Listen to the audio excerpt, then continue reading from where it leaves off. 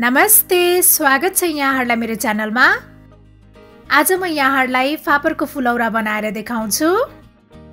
म चाहिँ यहाँहरूसँग फापरको फुलौरालाई अझै कसरी स्वादिष्ट बनाउन सकिन्छ भन्ने रेसिपी सेयर गर्न गइरहेको छु।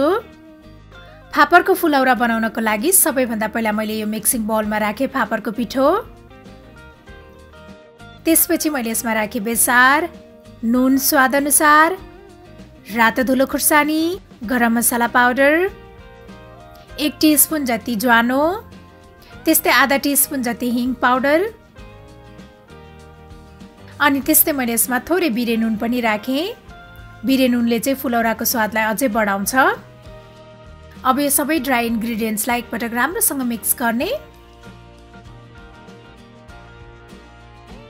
त्यसपछि मैले यसमा राखेँ मसिनो पारेर काटेको प्याज। प्याज चाहिँ अप्सनल हो। यहाँहरूले नराखिकन बनाउनु भए पनि हुन्छ। मसिनो पारेर काटेको हरियो धनियाँ। त्यस्तै मैले यसमा मसिनो पारेर काटेको अदुवा पनि राखेँ। अदुवा चाहिँ फुलौराको लागि एकदमै जरुरी हुन्छ। यहाँहरूले अदुवालाई पिसेर पनि राख्न सक्नुहुनेछ। त्यस्तै मैले यो हरियो खुर्सानी पनि राखेँ। अब यसलाई एकपटक राम्रोसँग मिक्स गर्ने।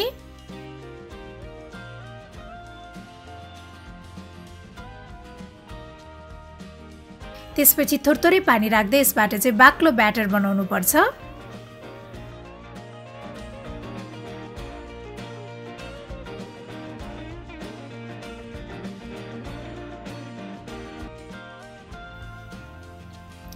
ब्याटर यत्तिको भएपछि यो फुलौरा बनाउनको लागि रेडी भइसकेको छ।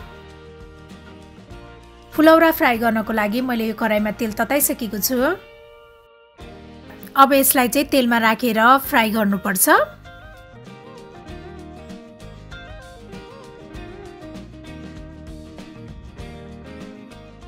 यसलाई चाहिँ रातो हुने बेलासम्म दुवै साइडबाट फ्राई गर्नुपर्छ। यत्तिको भएपछि यो फुलौरा रेडी भइसकेको छ। मैले यसलाई एउटा पेपर टावलमा राखेँ।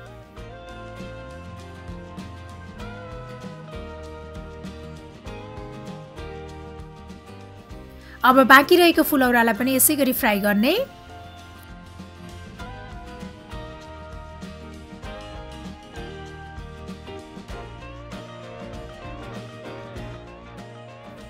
हाम्रो सबै फुलौरा बनेर रेडी भइसकेको छ।